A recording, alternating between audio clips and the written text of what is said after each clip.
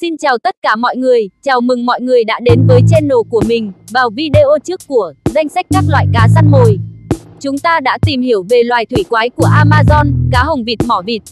Và hôm nay chúng ta sẽ tiếp tục chủ đề với một loại cá lớn nhất Bắc Mỹ, đó là loài cá gì và loài cá ấy có gì đặc biệt? Chúng ta hãy cùng nhau tìm hiểu ngay sau đây.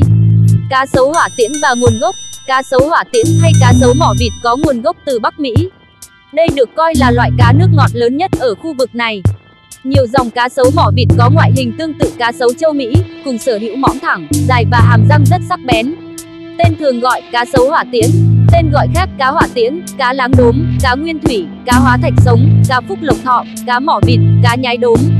Tên khoa học Lepisosteus oculatus winkel, tên tiếng Anh Spotted ga, nguồn gốc Bắc Mỹ, loài động vật ăn thịt, ngành động vật có dây sống, bộ cá láng, họ cá mõm dài, cân nặng phổ biến từ 5 đến 7 kg, kích thước phổ biến từ 112 đến 150 cm.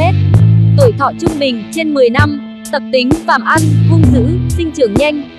Môi trường sống, cá sấu hỏa tiễn có thể sống được ở nhiều môi trường sống đa dạng với độ mặn khác nhau, từ hồ nước ngọt, đầm lầy, rồi nước lợ, cửa sông, vịnh, Cá sấu hỏa tiễn bắt đầu xuất hiện tại Việt Nam từ năm 2000 và nhanh chóng trở nên phổ biến. Đặc điểm hình dáng cá sấu hỏa tiễn Thân cá có hình dạng như một quả ngư lôi, có màu nâu hoặc màu ô lưu với bề mặt bụng màu xám, thân, vây và đầu có có lốm đốm màu đen.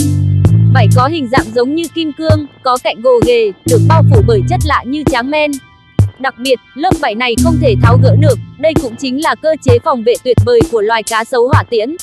Mõm dài với hàm răng sắc nhọn, cùng hàng răng kép lớn và sắc ở hàm trên, được dùng vào việc cắn và con mồi.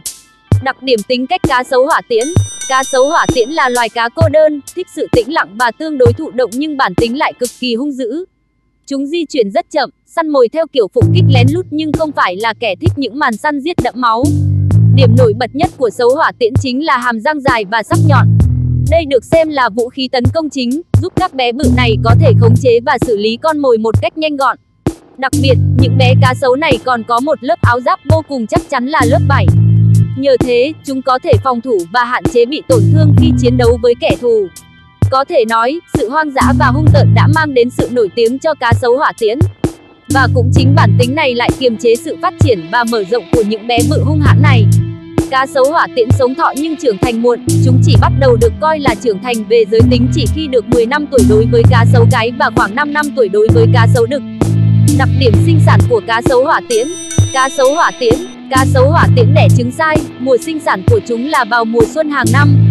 Một cá sấu hỏa tiễn cái có thể đẻ được khoảng 150.000 trứng cho mỗi lần đẻ với trứng màu đỏ tươi. Tuy nhiên, loài cá này thường đẻ trứng dính trên cây thủy sinh và gần như chỉ đẻ chứ không ấp trứng.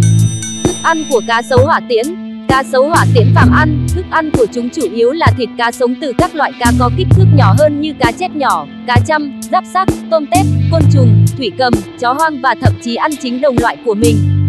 Nuôi cá hỏa tiễn đúng cách để cá hỏa tiễn sinh trưởng và phát triển tốt, người nuôi cần đảm bảo cung cấp môi trường sống có độ pH từ 6 đến 7, độ DH từ 15 đến 20. Khi nhiệt độ xuống thấp, cần lưu ý dùng các thiết bị sưởi để sưởi ấm cho cá, tránh trường hợp cá mắc phải một số loại bệnh phổ biến như bệnh nấm, bệnh lết. Cần chuẩn bị bể nuôi có chiều dài từ 150 đến 200 cm, đặt tại nơi có ánh sáng yếu. Nên thả từ hai con cá sấu hỏa tiễn trở lên trong hồ để nuôi và thường xuyên lọc nước để đảm bảo độ sạch tiêu chuẩn. Hồ nuôi cá sấu hỏa tiễn phải có nắp đậy với khoảng cách từ nắp xuống mặt hồ khoảng 10 đến 20 cm, tránh trường hợp cá sấu nhảy lên đớp bóng và nhảy ra khỏi hồ. Một số thông tin thú vị về cá hỏa tiễn. Trong đợt mưa lũ vào cuối năm 2017 vừa qua, người dân đã bắt được một con cá sấu hỏa tiễn nặng 28 kg. Trứng cá sấu hỏa tiễn có độc và có thể giết chết những loài động vật khác, kể cả con người, nếu ăn phải chỉ trong thời gian ngắn. Bên cạnh mang, cá sấu hỏa tiễn cũng hô hấp bằng phổi với cấu tạo vô cùng đặc biệt. Ngoài ra, loài cá này cũng có cấu tạo bàng quang không giống những loài cá khác không chỉ giúp nó nổi trong nước mà còn giúp lấy oxy trong không khí được hiệu quả hơn.